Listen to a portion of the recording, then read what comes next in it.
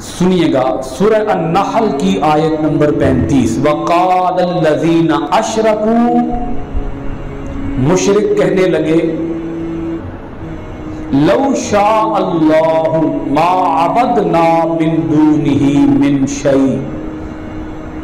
अगर अल्लाह चाहता तो हम इबादत ना करते अल्लाह के सिवा किसी और चीज़ की। नहनु वला आबाउना। न हम इबादत करते और ना ही हमारे बाप दादा इबादत करते अल्लाह के सिवा किसी और की। अगर अल्लाह चाहता तो हम भी इबादत ना करते अल्लाह के सिवा किसी और की। और हमारे बाप दादा साढ़े वड वडेरे, वो भी इबादत ना करते अल्लाह के सिवा किसी और की। अब आप पहले ज़रा इस एतराज़ को समझिएगा। फिर इसके जवाब को समझिएगा, अल्लाह पाक ने क्या जवाब इर्शाद फरमाया है? काफर कुफर पर रहना पसंद करते थे, गुमराही पर रहना इस हद तक पसंद करते थे कि वो हक के बारे में जर्रा बराबर सोचना भी पसंद नहीं करते थे, कि थोड़ा सोच ही लें हो सकता है हमारी बात गलत ही हो। हो सकता है ये पैगंबर सही बात कर रहे हो, इनकी बात सुन तो लें, गौर तो कर लें, ये क्या कह रहे हैं? ये कहना क्या चाहते हैं? थोड़ा सा ही गौर कर लें। अब वो क्या कह रहे हैं? अपने कुफर का क्या बहाना तराश रहे हैं? अपने कुफर पर रहने के लिए क्या हुज्जत पेश कर रहे हैं? हुज्जत जरा सुने उनकी। वो कहते हैं तुम कहते हो कि इस कायनात के अंदर अल्लाह के हुक्म के बगैर पत्ता भी नहीं हिल सकता। तुम कहते हो। ए मुसलमानों ए मोमिनो, तुम कहते हो, अल्लाह के हुक्म के बगैर इस कायनात के अंदर परिंदा पर भी नहीं मार सकता। जो होता है अल्लाह के हुक्म से होता है, अल्लाह की मर्ज़ी से होता है। अल्लाह की मशीयत से होता है, अल्लाह की चाहत से होता है तो फिर अल्लाह हमें खुद मुसलमान बना देना। नहीं समझ आया अल्लाह हमें अल्लाह हमें खुद मोमिन बना दे, वो जो हर चीज़ को पैदा करने वाला है, मोमिन भी सन खुद ही बना दे के ਇਹ अल्लाह सन मोमिन नहीं बना रहा ता असि नहीं बन रहे। अल्लाह सन सीधे रात नहीं ला रहा, ता असी सीधे राह नहीं लग रहे। इतने सन अल्लाह चला रहा बाप दादे तो लगे आ रहे हैं पुठे। उन्हें लाया सन पुठे राह अस लगे हैं। जो होंगे अल्लाह के अमर नाल होंगे अल्लाह के अमर तो बगैर तो कुछ भी नहीं होंगे अल्लाह ने लाया सन इस राह से भाई, समझ आ गई। इस रात सन अल्लाह ने लाया। एक गल अज भी होती है। अल्लाह पाक फरमा रहा है, ये बात जो काफर आज कर रहे हैं, ये आज की बात नहीं है। अल्लाह पाक फरमाता है, इनसे पहले लोगों ने भी यही बात कही। और आप यकीन जाने, आज भी लोग यही बात करते हैं। मसलन आप किसी को कहें ना, नमाज़ पढ़ा करो। अल्लाह पढ़ाएगा तो सी पढ़ांगे के हैं जी ये तो सन अल्लाह नहीं पढ़ा रहा नमाज़ अल्लाह सन चोरियाँ छुड़ा देवे अल्लाह सन झूठ तो बचा लवे अल्लाह बचावे के सन असी तो ता नहीं बच रहे अल्लाह नहीं बचाता हम झूठ पर इसलिए हैं कि अल्लाह हमसे झूठ बुलवाता है माज अल्लाह अस्तगफिरुल्लाह ये मैं एतराज़ बयान कर रहा हूँ अपनी बात नहीं कर रहा। बेदीन लोगों, गुमराह लोगों और गलत लोगों का एतराज़ आपको समझाने की कोशिश कर रहा हूँ कि आज भी ये एतराज़ होता है। आज इसका थोड़ा सा मुख्तलिफ़ तरीके से जवाब देने की कोशिश करता हूँ। एक है अल्लाह ताला की रज़ा। बोलिए ज़रा, अल्लाह ताला की रज़ा। एक है अल्लाह की मशीयत। अल्लाह की अब काफरों का मसला क्या था? काफरों का मसला ये था कि वो अल्लाह की रजा को अल्लाह की मशीयत के साथ जोड़ रहे थे। बोलिए जरा आप भी मेरे साथ मिलकर। अल्लाह की रजा को अल्लाह की मशीयत के साथ जोड़ रहे थे। कैसे जोड़ रहे थे? वो कहते थे कि अल्लाह इस बात पर खुश होता है कि हम उसकी इबादत करें। और उसकी इबादत में किसी और को शरीक ना बनाए, अल्लाह इस पर खुश होता है तो वो अपनी मशीजत से हमें इस बात पर चला दे तो हम चल पड़ेंगे। अपनी मशीजत से। जैसा कि अल्लाह की मशीयत से सारे फरिश्ते अल्लाह ताला की इबादत कर रहे हैं। अल्लाह की मशीयत से, अल्लाह की मशीयत से। इसी तरह कायनात की हर चीज़ अल्लाह ताला की तस्बीह और तकदीस बयान कर रही है। किसकी मशीयत से बोलिए? अल्लाह की मशीयत से। तो वो कहते थे कि अल्लाह हमें अपनी मशीयत से मोमिन बना दे तो हम मोमिन बन जाएँगे। यानी वो जिन कामों पे खुश होता है, हमें खुद ही उन कामों पे चला दे। असी कौन ही चलना? ओ चलाए। हूँ समझ आ गई? असी असी उस रात नहीं चलना। सन वो खुद आके चलाए।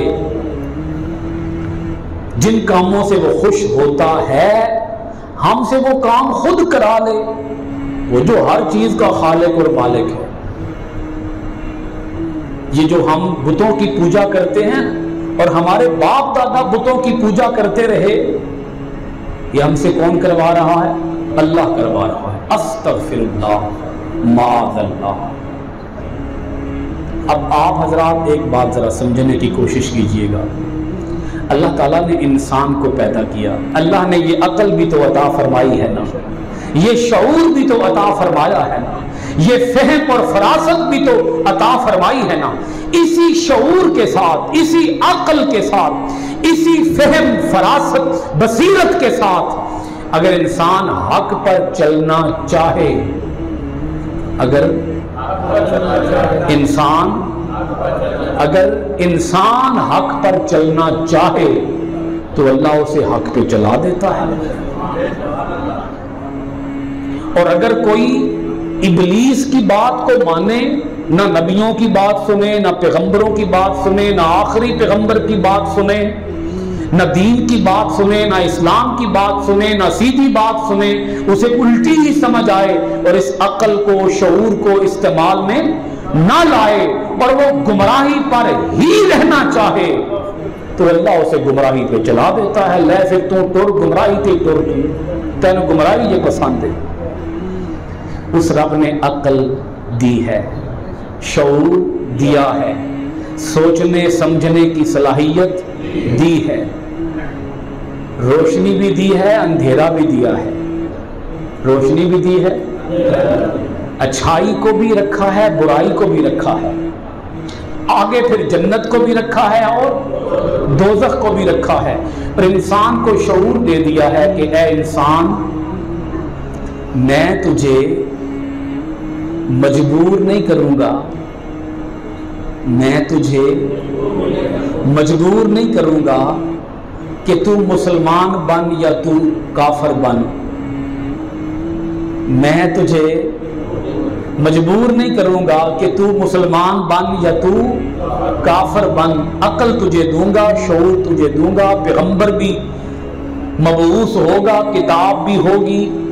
उस अपने अकल को इस्तेमाल में लाकर उस पैगंबर की बात को सुनकर उस पैगंबर पर नाजल होने वाली किताब को पढ़ के अपने अकल को शूर को इस्तेमाल में ला के तू हक पे चलना, मैं तुझे हक पे चला दूँगा। हाँ अगर तू बातिल पे रहना चाहेगा तो फिर मैं तुझे बातिल पे चला दूँगा। मैं तुझे किसी भी काम के लिए मजबूर नहीं करूँगा।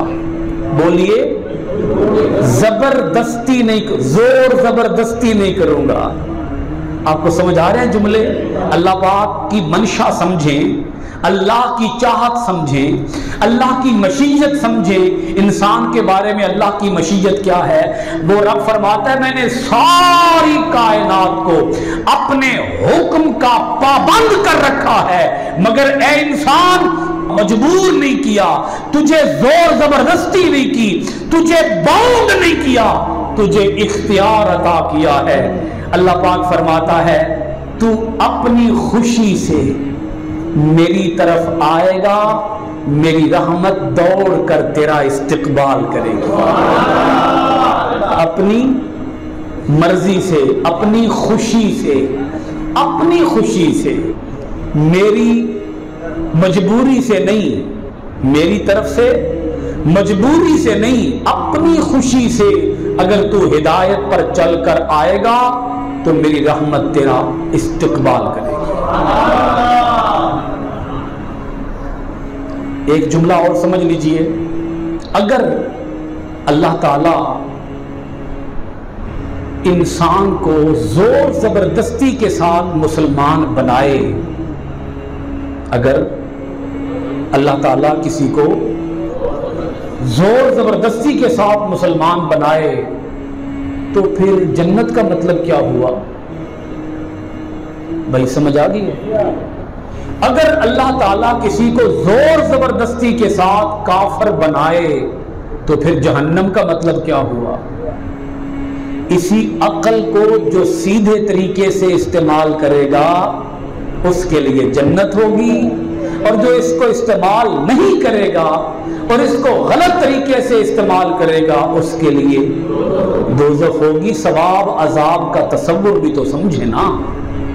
उस रब ने जन्नत दोजख पे रखी ही क्यों है? अगर उसी ने ज़ोर ज़बरदस्ती करना होती, अल्लाह पाक फरमाता है, ला इकराह फिद्दीन, कद तबैयन रुश्द मिनल गई वो रब फरमाता है, दीन में आने के लिए किसी पर जबर नहीं है। किसी पर ज़ोर ज़बरदस्ती नहीं है। और अगर अल्लाह पाक अपने बंदे से फरमाता है, समझाते हुए मैं इस आयत की तशरी कर रहा हूँ, अगर अल्लाह पाक फरमाता है, ए मेरे बंदे, तुझे मैंने ही अगर अपनी मशीजत के साथ हक के रास्ते पर चलाना था तो फिर फिर ए इंसान मुझे ये तो बता ए इंसान, तुझ में और एक गधे में फिर फ़र्क क्या रहा? वो नहीं समझ आए एक इंसान में और एक फिर फ़र्क क्या हुआ? वो रब फरमाता है, यही तो फ़र्क है। उसके पास इख्तियार नहीं, गधे के पास मर्ज़ी नहीं, इख्तियार नहीं। सोचने, समझने की इस्तेदाद नहीं, सलाहियत नहीं। इंसान के पास सोचने, समझने की सलाहियत है। अगर इस सलाहियत को इस्तेमाल करके वो एक खुदाए बुजुर्गो बरतर के आगे झुक जाएगा तो रब फरमाता है, वही मेरा मकबूल और महबूब बंदा होता। है